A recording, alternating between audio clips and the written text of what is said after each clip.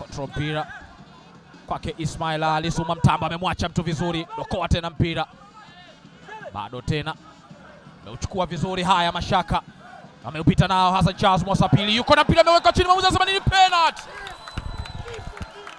Mkono umeashiria katika kidunguri kidogo sana, kiko ndani ya kisanduku. Yalikuwa ni makosa ya kiulinzi, bado yanaendelea na bado anaendelea nayo Stand United, makosa ya kiulinzi.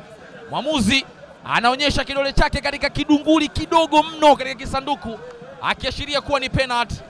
Alipita na mpira vizuri sana Hassan Charles Mwasa pili akichukua mpira katika miguu ya Mashaka, wenyewe anamuita Yusuf Amin Saddam, ayopita nayo akafanyiwa madhambi akiwa katika kisanduku, na mara zote madhambi yanapofanyika katika kisanduku, basi faida huwa ni mkwaju wa penalty. Acha tuone atafanya nini Chanongo, lakini pia atafanya nini Swedi Harun. Haya, kipenga kimesharuhusu, ni Harun Chanongo, yeye dhidi ya Swedi. Harun Chanongo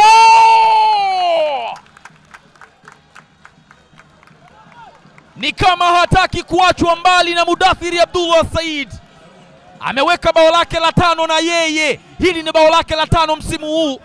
Harun Athumani Chanongo amewaadhibu waajiri wake wa zamani, anawaambia ni mimi yule yule mliyenichukua miaka hiyo, ninawaadhibu hapa nikiwa Nyamagana. Anawaadhibu waajili wake wa zamani, lakini sasa akiwa anaitumikia Pamba Jiji.